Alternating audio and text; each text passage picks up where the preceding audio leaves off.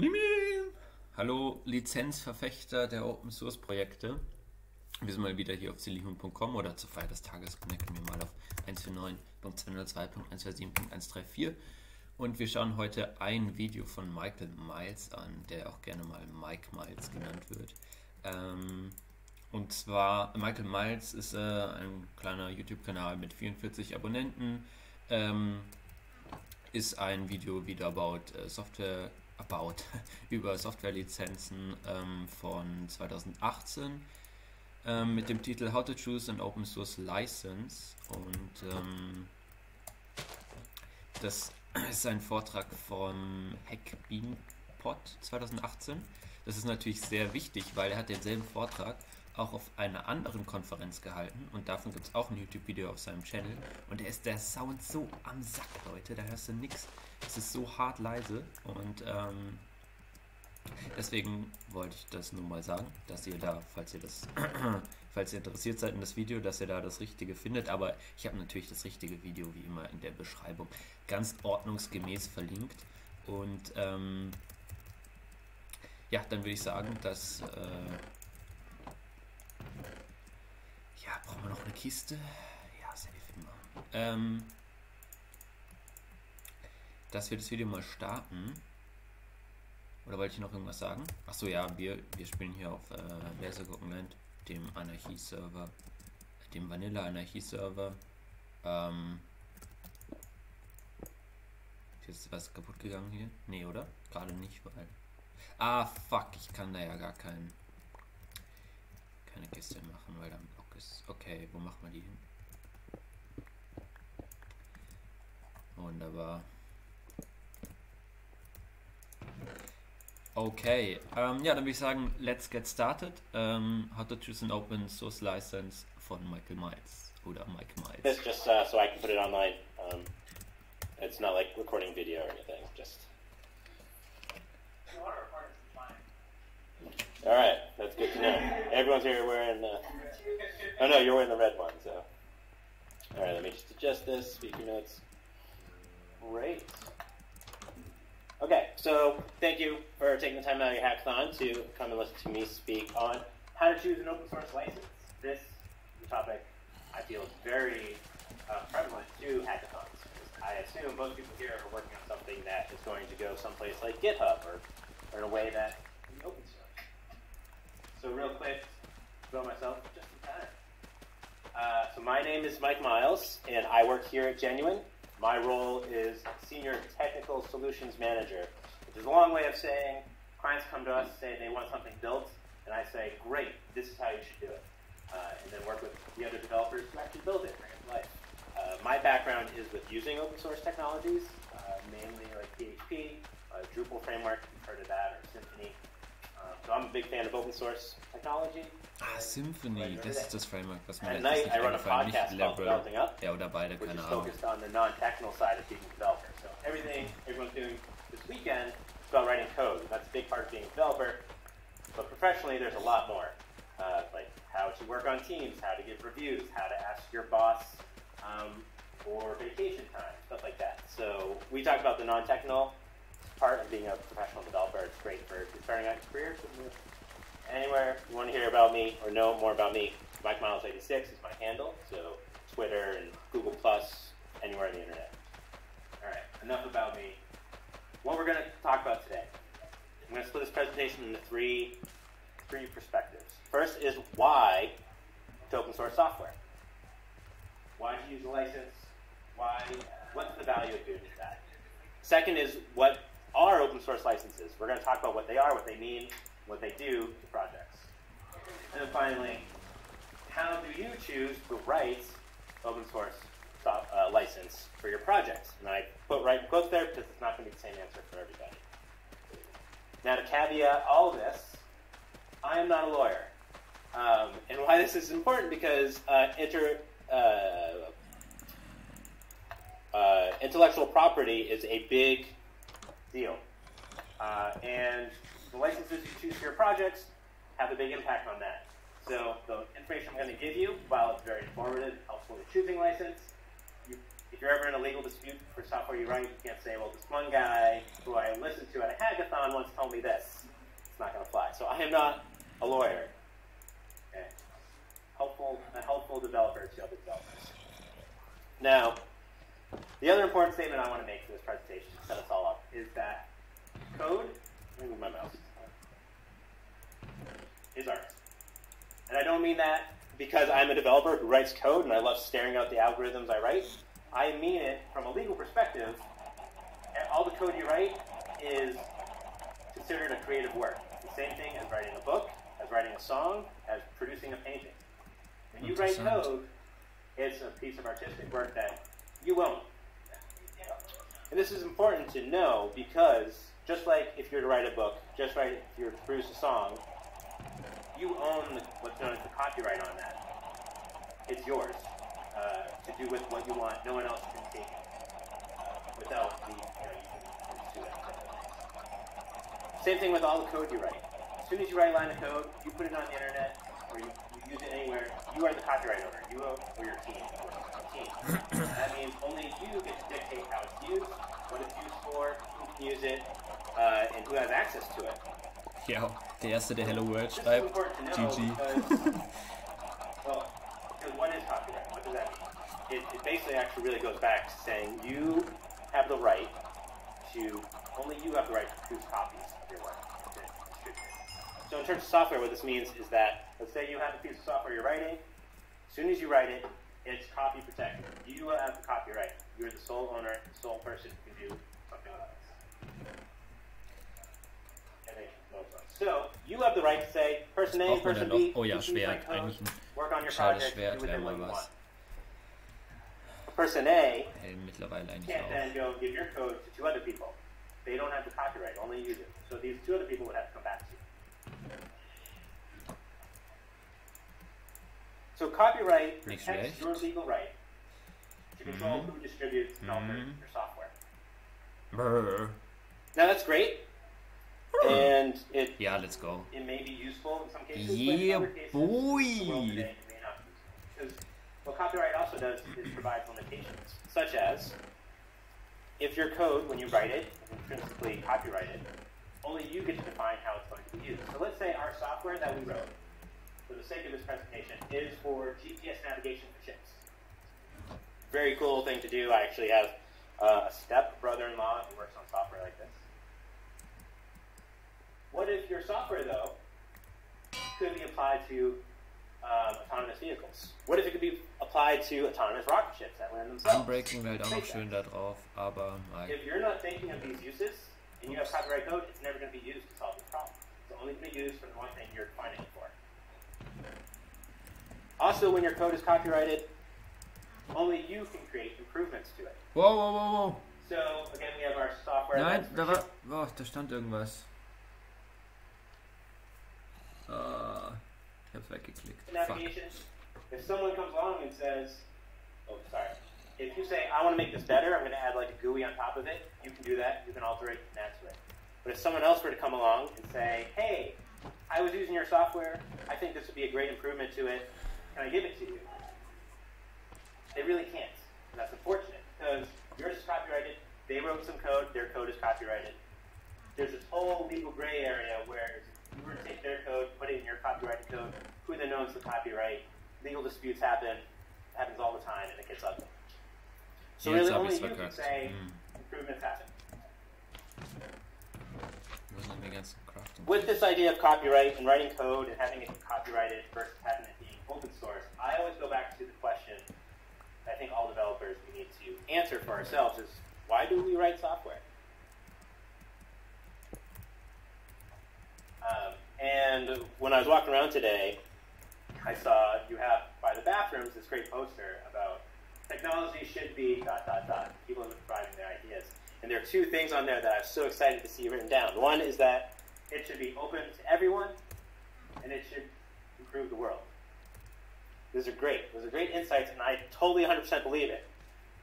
Um, we write software to solve a problem. That's what everyone's doing here today. They came up with an idea because there's a problem in the world that you want to fix, you want to make better.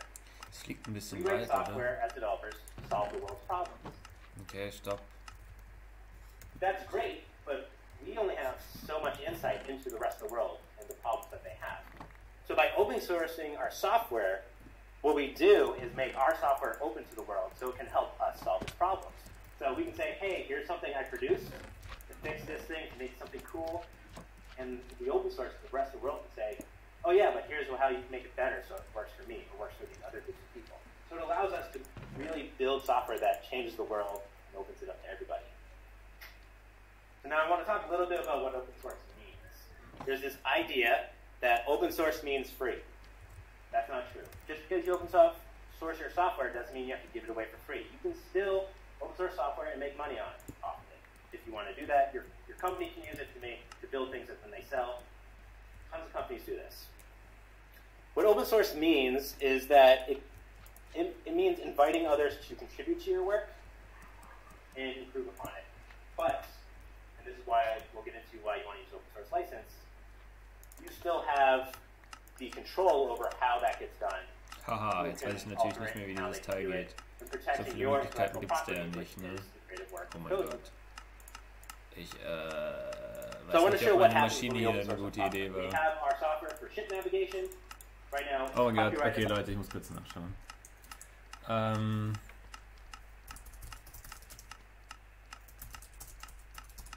Jedes Mal aufs Neue. Okay, wir haben oben die Milch. Und ich werde diese Weizen nie wieder einsammeln. Oh, ich Idiot. Dann haben wir unten den Weizen. Und dann so, ah, okay. Okay. Okay. Ja, das funktioniert doch erstaunlich yes. gut. Say we get rid of that, we open source our code. Now what can happen is someone can take this, they create what's known as a derivative. They can use ours as a base, change it around. Suddenly they can produce code for uh, autonomous vehicles. Someone else can come along, take our code base, alter it, and SpaceX can use it for their space navigation. Awesome. We had this one problem that we were trying to solve, all of a sudden we're solving all these other problems for the world. Derivatives, which, which these are, they're alterations or extensions of a piece of software. Open sourcing our software also improve, also invites improvements from other people into our software. So, Gleich kommt irgendein Creeper und jagt alles in die Luft, oder? Someone comes along and says, know it, I can make your GPS navigation 10 times more precise. Here's the code to do it. Great. You can pull that in, you can apply it to your project. No problems there because you're open source. Someone else can come along and say, oh, here's another improvement. Someone else can say, here's another improvement. And all of a sudden, you're getting the world of developers offering their insight and experience to build on top of what you did to solve more problems. I love it. It's what I do every day.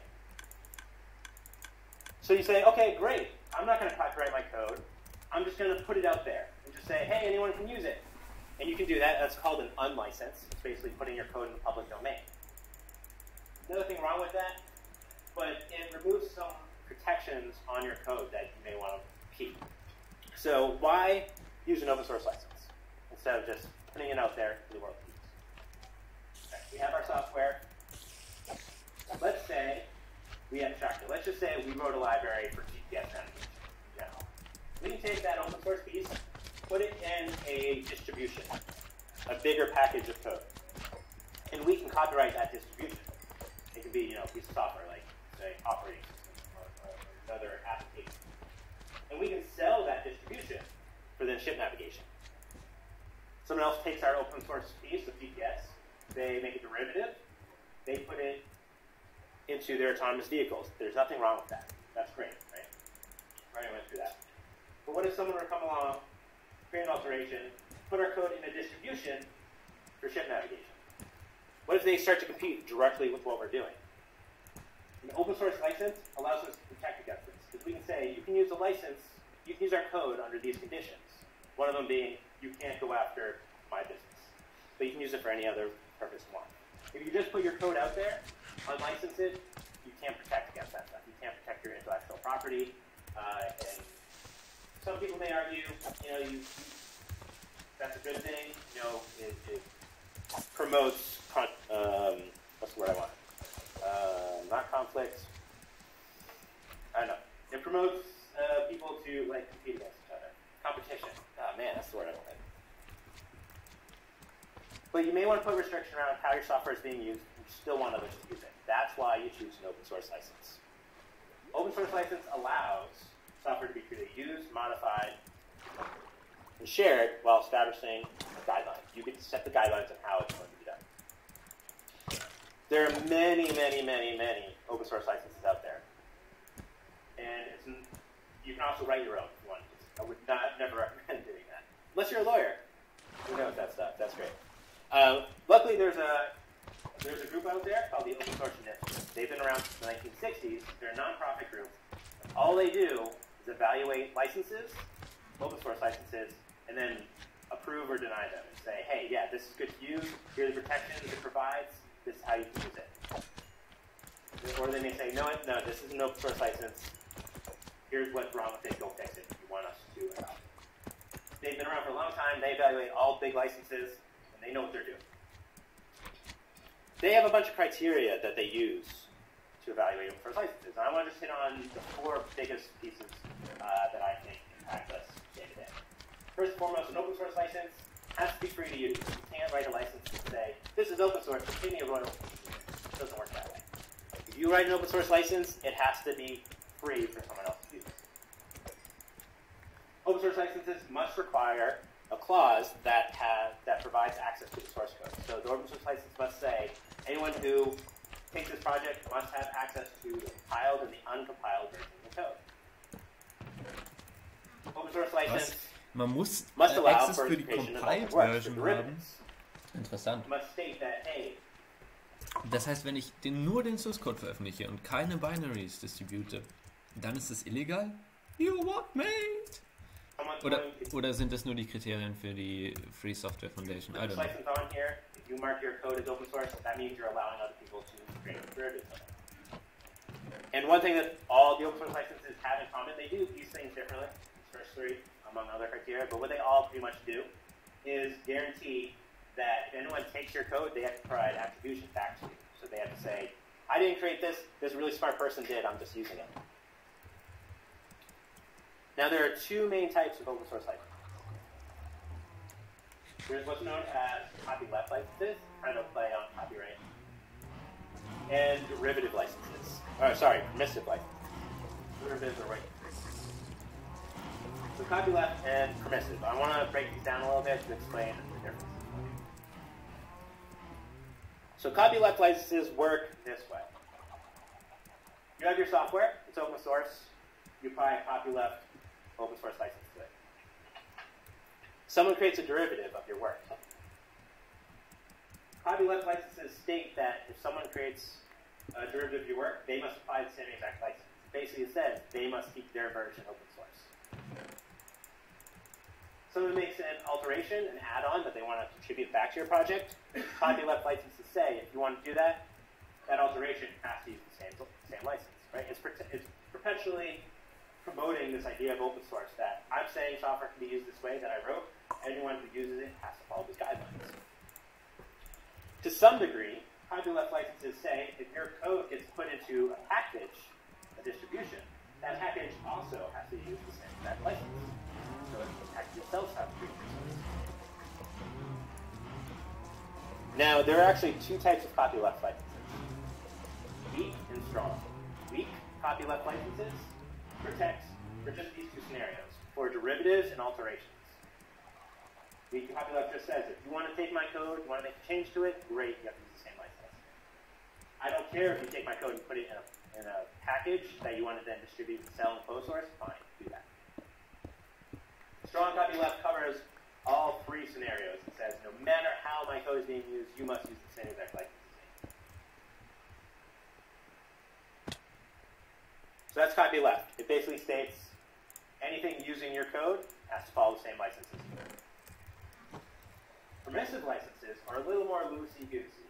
They're a step above pretty much having no license, for the most part. So let's say we have our, our code, we put a permissive license on it. Now, if someone were to make an alteration, they can go ahead and apply a different license to their, their version. Now, there's still some guidelines, like it has to be an open source, or depending on the license you choose, it has to follow certain guidelines. But they could put a copyleft license on it, they could uh, not even they can copyright their version. There's stuff you can do. Same thing with an add-on. Right, they can create an add-on that has a compliant but different license, Okay, submit it back to you, add it to your project. Or someone can take your code, make a distribution, close source it, put their copyright on it, and they can sell that.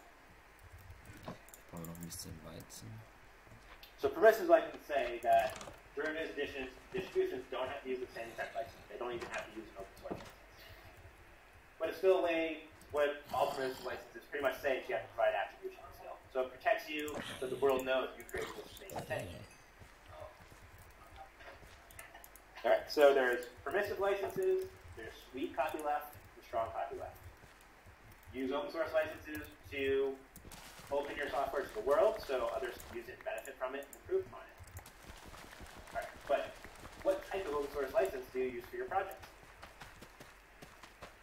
I want to take you through, it's basically four, the only four questions you have to ask yourself to figure out what type of license to use. And I, I will hope that after this you can use that this weekend before you submit your final projects. First question. What Clear. licenses are already in use by my software? How many people here are working on projects where you're using a pre-built package or library that you're not creating yourself? Raise your hand. Everyone's writing it themselves. Everyone's writing their own JavaScript library language. No, everyone pretty much is. Like that's what we all do every day. If you're using something that's pre-built, say you're using Angular, say you're using uh, a Python package you found to connect to Spotify, say you're using, you're integrating with an API um, for machine learning, check their licenses because they're going to have licenses on their software because it's open source. That's how they open it for use. They could have a strong copyleft license that says your software, if you want to use us, has to use the same license as us. So that's going to dictate what type of license you may use. If you don't agree with the licenses that software uses, you're going to have to find a different package, a different library. Second question is, what are the terms of service where my software is hosted? This is one thing that people don't really think. Let me ask, how many people here are putting their project up on GitHub this weekend? All right, number of hands, couple of hands. Hey, haben die Terms of Service? Um, GitHub has in its terms of service a clause that states if you put your code on GitHub, you have to allow for the creation of derivatives. You have to Oh, allow for what's known as forking your project base. Now they can be private forks, or they can be public forks, but you have to allow people to create derivative works. Interessant. If you're already thinking about open sourcing, that's great for you. If you're like, I want to put my software up on GitHub and I don't want anyone to be able to touch it, it's a little gray area. So there's wenn man eine Private Repo auf GitHub hat, dann wird das ja wohl keiner forken. thing called packages for uh, Terms of Service hin oder her. there's, you know, NPM or stuff like that, that they may have terms of service requests that say you have to use these sort of licenses. These first two questions are kind of like outside of your exact code. It's more about what you're using to power your software. The next question, though, is directly that you control is, do you want derivatives, additions, and distributions to have to use the same license? Ups. If you say, yeah, I want, I want anyone who uses my software to follow the same guidelines I'm following, then you want a copyleft license, right? We talked about that. Da gibt es If not, sicher like, no, I irgendeinen just Trick, want wie ich people to use das this. schneller I machen want kann. a couple small guidelines, and I want to make sure I get the credit for I did. You want a permissive license. If you do go with copyleft, there's one other question to ask yourself, which is, can others use my software in their own proprietary software? Basically, do I care if people are going to use this to make money? If you don't, go with weak copyleft. So then you allow people to create their distributions that then they can sell and package their software. If you do care, you're like, no, no, no, no. I don't want anyone to benefit, well, not benefit, profit from my work. Strong copyleft, so no matter how they use the software, they have to use the same license as you. These are four questions you ask yourself to figure out what type of open source license you want. What else am I using that I didn't write? Where am I going to put this software? Uh, do I care what type of license people use? Do they want to follow the same one as me? And do I want to allow people to put in proprietary software? That gives you kind of like a decision tree to figure out if you want weak copyleft, strong copyleft, or permissive. All right, Mike, that's great, but which license specifically? Tell me. We don't know. What, I want to know exactly what license to use. Can't tell you that. It's going to be different for every project, every Ja, team, toll. every organization. You're going to have rules and guidelines and, thoughts about how you want that software to be used. And like I said earlier, there are a lot of licenses out there. This is a, a couple examples of the most common ones out of these three categories. So strong copyleft is the GPL license, the GNU public license, uh, written way, way, way back back then, before I was even born. Um, like Linux uses this, GNU uses it. They're very strong copyleft. They say if you if you want to use Linux, you want to write package for it, it pretty much has to be open source. Again, there are some things around that. Uh, the Eclipse strong copyleft license. Weak copyleft is the LGPL, the lesser GNU public license. Mozilla's public license. And the permissive, it's like MIT and Apache 2.0. Yes.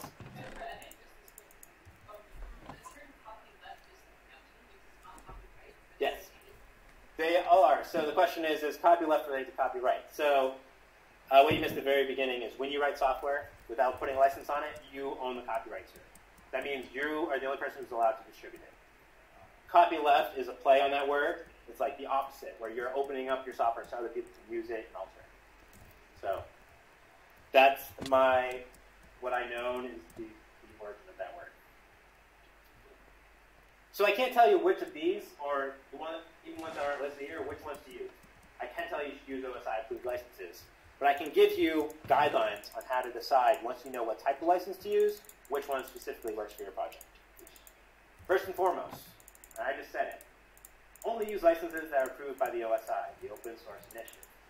They, every day, all they're doing is reviewing licenses, making sure it protects the copyright owner or the creator of the work and the people who are going to use it. Make sure there's protection on both sides.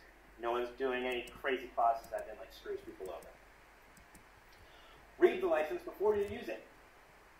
Now this can be hard because a lot of them are written in legalese and none of us here are lawyers. Uh, there's a really fun website called tldrlegal.com yeah, so they do things like terms of services for, for social networks, all the open source licenses, all other licenses. You go there, you look it up, and they put those licenses into basic English terms. They say, this provides these protections, allows for this creations of work, and these are the limitations. So you can quickly get a glance about, all right, this is what this license means. This is what it means for my project and for people using it.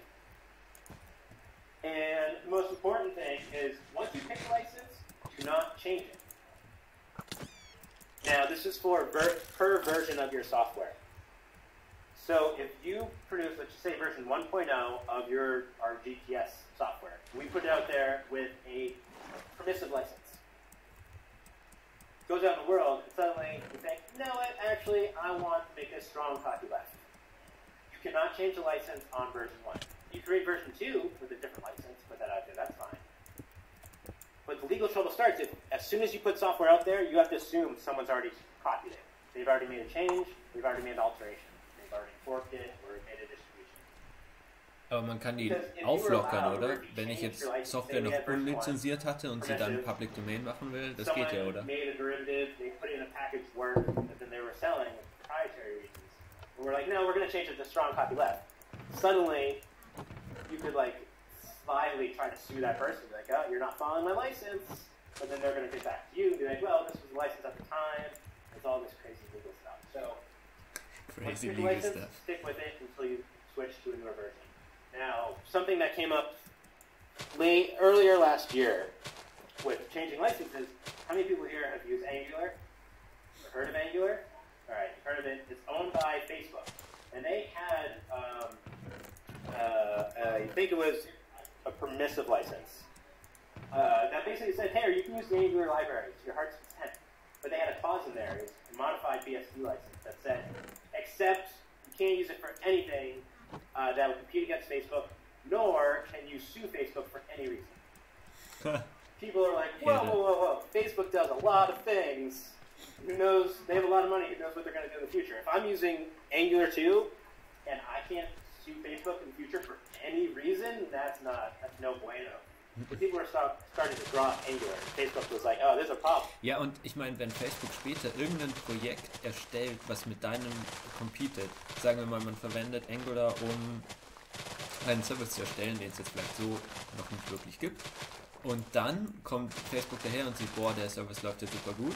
Und dann machen die auch sowas und dann können die dein Projekt zumachen und sagen, hey, äh, du competest mit uns, mit uns und dann äh, Snack. Bist du weg vom Fenster. Und wenn du dich beschweren willst, darfst du nicht. Richtig geil. Funktioniert es so? Keine Ahnung. Leute, Recht ist echt wild. Wilde Sache. They want people to use their stuff. So they created a new version of Angular with a different license. They got rid of that uh, patent clause, and the world is much happier. So to recap, open source projects change the world. I totally believe that. Everyone here, I bet, is working on something that they would hope would change the world. I strongly recommend you open source your projects, especially because it's a hackathon. You're not going to build something perfect in 40 hours, maybe get close, um, but you want others to contribute. make it Adding an open source license to your project invites other people to do that, to make your work better, to alter it, to use it, to benefit the world, to share and modify it. So think about applying an open source license to your project this weekend. And no one can tell you the best license for your project. Maybe a lawyer can who knows intellectual property and software law. But select the right project, sorry, select the right license for your project by asking yourselves the right questions. Ah, hier sollten Do I other people have to follow the same guidelines as me? Do I care if they're going to make money off of this by putting in distribution? Where am I being hosted? What other libraries am I using that? Those lead you down the path to know if you should do strong copyleft, weak copyleft, or missing. So before I get into questions, I want to list some resources for you, everyone here. The first is the Bitly link Acme OSL, which is this presentation. It's on Google Slides. So I, I don't have it listed, but it's like an open source thing because you can create a copy of it. So it's an open source presentation. Uh, the link to So why is it not on opensource.org, GitHub? which is They read all those licenses, approve or deny them. Fucking Google. ChooseLicense.com is a fun tool by GitHub. Asks you basically those four questions I asked you, or I presented to you, and they help you decide what license to pick. They get a little more explicit and be like, hey, the Apache license may be the best fit for your needs. TLDRlegal.com, turn all that legalese into English so you can understand it. Uh, and then just a link to my podcast again, developingup.com, if you want to try to about things that aren't code related but have to do with a career in development. So with that, any questions? Hoch, oder? Natürlich. Well, if you have, all right, no hands yet. But if you have questions later, I'm on Twitter at MikeMiles86. I'll be around here till probably like 3 o'clock, so for another hour. If you have questions about licensing, um, I can give you my hier bin ich non-legal advice. Um, and uh, it's always fun to have applause.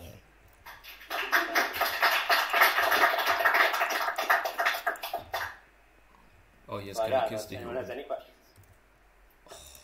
Question? So, if you do not put any license on your project, what that means is that you own the copyright to that project. So, anyone else looking at your code, if there's no license to it, if they are paying attention, they're going to assume I can't use this code because it's copyrighted.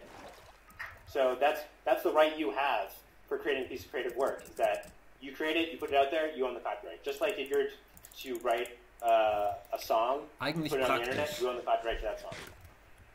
Eigentlich, So if you don't eigentlich schon apply a okay. license, the license that automatically gets applied is a copyright license. Yes. I'm just curious about how, like, how you do this on a daily basis. Ja, ich kann es auch in mich reinsetzen. Ist ja funny. Yeah. Wartet mal. So the question is, you know, how do you think about this every day when you're doing a project? Yeah, and so like also like what's your responsibility versus like like the legal. Yeah, so it's it's a little mixed. I think as a developer, it is your responsibility to know what you're using and what the implications of what you're building. Because if you're building something uh, Ah! With a license and you're not following those guidelines, I mean, you're responsible for doing that. True, there are lawyers who can can stop you. Like if you, let's say you own a company and you're you're producing software that you put out to the world, you're going to have a legal team who's going to help you review explicitly what sort of licenses to use. Here at Genuine, where we build work for clients, we use a number of different pieces of software. Ich will echt sterben, oder Leute? I'm on the PHP team. We use open source software. Uh, the framework we use the most has, uh, I believe it's an LGPL license, states you can use this. You don't have to follow the same license as us, though. Hä? So that allows us to then let our clients. They technically own the code because they pay for it to be written. So they can do with what they want. They can open source, close source it. Other teams, like on our .NET team, well, Sitecore is kind of open source, but they have licenses where you have to buy access to the code, right? So clients may want that. Right. So they allow pictures. So we basically, yes, you need to talk. If you work for a company, they need to have a talk with a lawyer to be like, how do we want to do this? You need to kind of standardize on the tools you use, so you don't have to figure that out for every project. That help? I hope. Good question. Oh, wir brauchen noch Kuchen Yes. für da hinten. Uh, Da. for a strong copyleft license, you can't profit off the software safely transform it and derive it. But can you profit off of the output? So what the code produces? Yes. Um, I don't, I don't, I don't think it restricts that. I think like you can use all this free, you know, or this copyleft software to then produce something and sell what's produced. Um, I would assume that's the case because you're assembling these pieces in a certain way that you're producing something. I don't know if you'd be considered creative, but that's unique. So yeah, you could probably sell what's produced. Just the, the code you use to write that, you can't say like, oh, this is our. You can't sell the code. You Yeah. I don't know where that would get in if you used strong copyleft code to generate code. I don't know what that would happen there. That'd be crazy. Uh, so probably. All right. It. Thank you. So, Leute. Das war doch ein bisschen aufklärend ähm, über. Ah, Boys, ich brenne.